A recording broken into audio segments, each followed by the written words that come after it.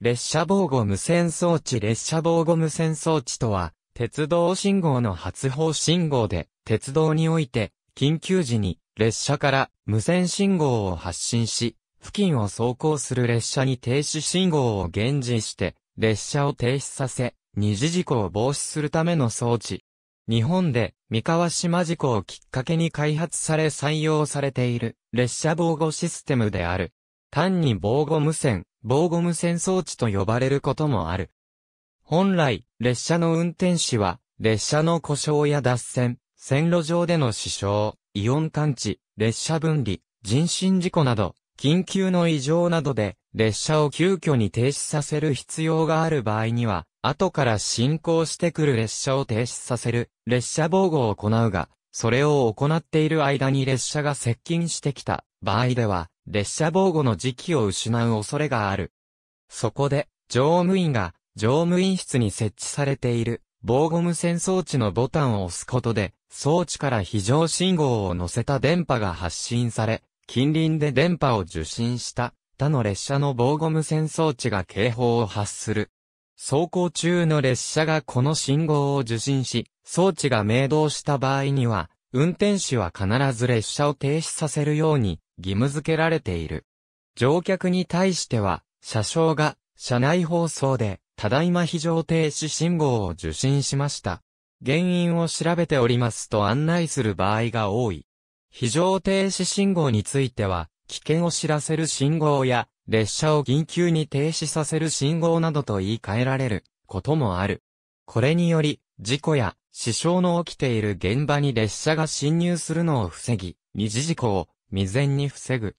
なお、列車防護無線装置はあくまでも緊急の列車防護であり、列車の故障や脱線、線路上での死傷などで列車を急遽に停止させる必要がある場合には、それを行った後に、列車防護を行うのが望ましいとされている。発砲した乗務員は、運転指令書等と連絡を取り、指示を受けた上で装置を復位して発砲を止める。一方、信号を受信して停止した他の列車は、信号が無限時となっても直ちに運転を再開せず、以後指令書の指示を待ってから運転を再開する。防護無線は、自動列車停止装置や自動列車制御装置とは違い、明動することで乗務員に対して、列車停止の指示を現示する装置である。各種自動システムは全く関わらないので、具体的に停止させるための制動操作を行うのは、運転手であり、受信したからといって、自動的に列車にブレーキがかかるものではない。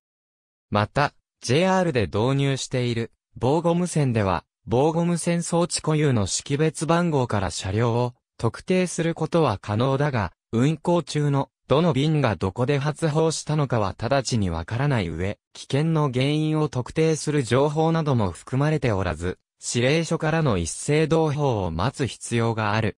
防護無線の電波が届く範囲は発砲地点から半径約1から 2km 圏内とされ、この範囲では別の路線の車両も発砲を受けて緊急停止する。これは、路線が並走する、箇所等で事故が発生した際、並走する路線を走る、他の列車が、事故現場に、棒進むするのを防ぐためである。一方で、路線が過密に入り組む、大都市圏などでは、事故の発生している路線とは全く関係のない別の、路線の列車にも電波が届いて、運行に影響を及ぼすことがあるし、効果など見通しの良い場所で発砲した場合にはより、遠くまで電波が届いて想定外の広範囲に影響を及ぼすことがある。防護無線装置の機種によっては、通常は車両より給電を受けて動作し、停電時には電源を切り替える操作を必要とするものがある。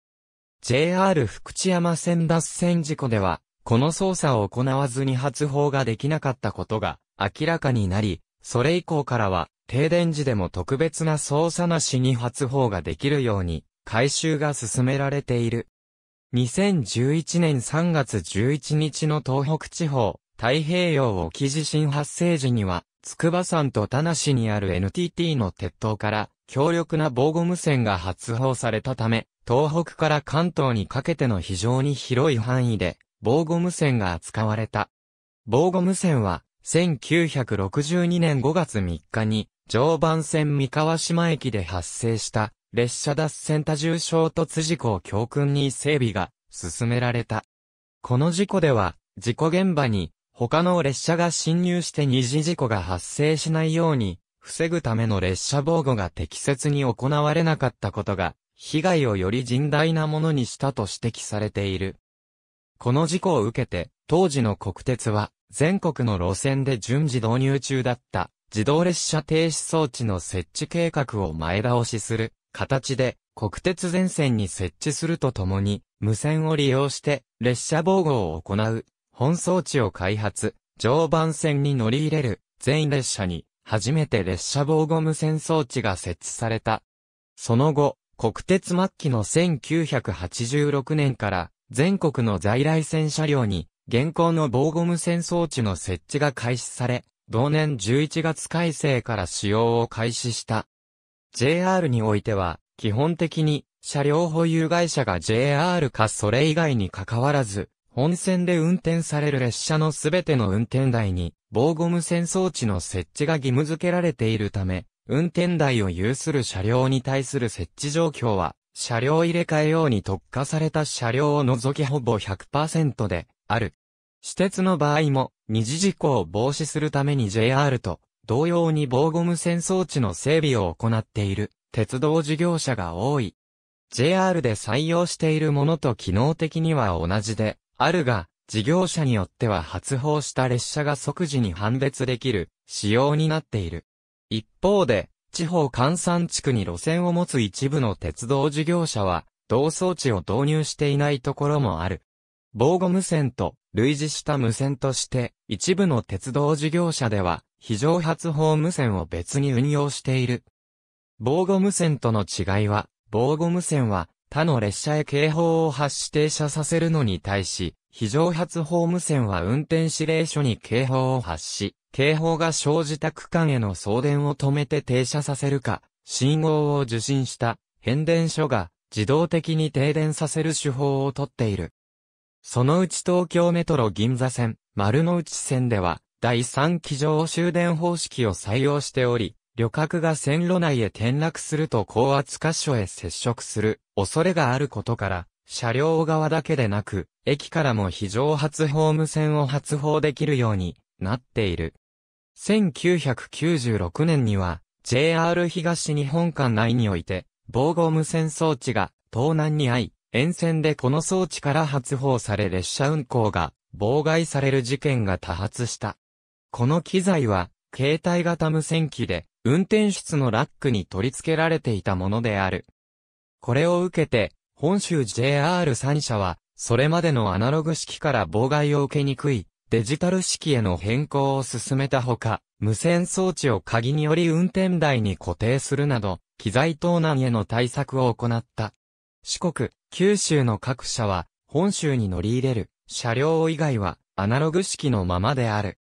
2010年4月以降、JR 西日本管内の森の宮電車などで、防護無線の予備電源のヒューズが、運転室内に侵入した何者かによって抜き取られる、事件が相次いで発生した。このヒューズは、後述の福知山線事故で、防護無線の発砲に失敗したことを受け、同社が運転室に設置した予備電源に電力を供給するために配備されたもので、固定されていて外部からの侵入者が抜き取るのは困難である。その後の調査で内部犯行が発覚し、同年7月20日、大阪府警は予備電源のヒューズを抜き取ったとして、天王寺社商区に所属する49歳の車掌を器物損壊と偽計業務妨害の容疑で逮捕した。乗務中にヒューズを抜いた会社に不満があったと供述している。2005年4月25日に JR 福知山線の上り線で起きた脱線事故の際には脱線した列車の車掌が発砲を試みたが停電のため直ちに発砲できなかった。この機材では停電時に発砲するためには電源を切り替える必要があったものの車掌はその操作を教育されておらず結局発砲できなかった。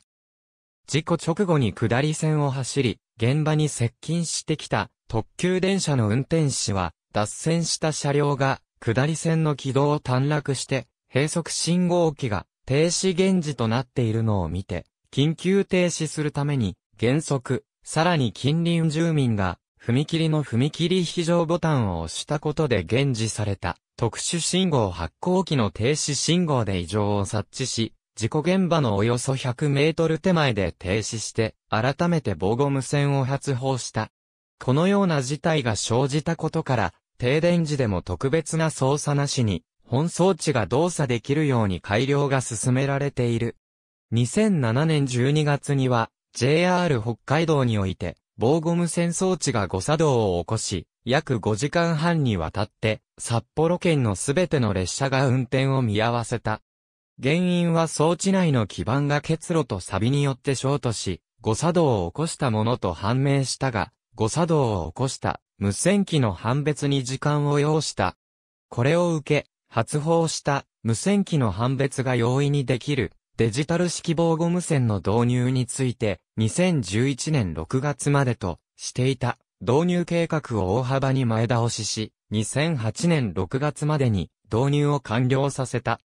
JR 貨物岡山機関区所属の電気機関車1機について、2006年5月から2012年11月まで、約6年半にわたり、防護無線がつながらない状態で運行についていたことが明らかになった。防護無線機器の設置工事の際に、配線を誤った可能性が高いとされている。同社は2012年10月には、問題が発見されていたにもかかわらず11月まで放置していたことも判明しており、結果的に、当該機は、山陽本線や東海道本線などで、約150万キロメートルにわたり走行していた。1986年11月26日に、綾瀬駅に停車中の常磐線各駅停車の乗務員が誤って発砲し、首都圏の10線区23本の列車がこれを受信して、緊急停止した事例がある。これは、綾瀬駅が高価だったため、想定した到達範囲をはるかに超える、広範囲にわたって電波が届いたことによる。2010年5月27日、午前8時30分頃に、東海道本線摂津戸田駅付近を走行していた、西明石発京都行の普通電車が、踏切内に人が立ち入ったのを発見し、防護無線を発砲したところ、約 10km 南を走る片町線を走行中の複数の電車も信号を受信して非常停止した。この日はたまたま生じていたスポラディック位相が電波を反射し、通常より遠くまで電波が届いたと一部メディアが報じたが、スポラディック位相は 1000km 程度の距離の電波を反射させるものであり、なおかつ防護無線の電波は、スポラディックイーソーで反射しない、周波数帯を使用している。ありがとうございます。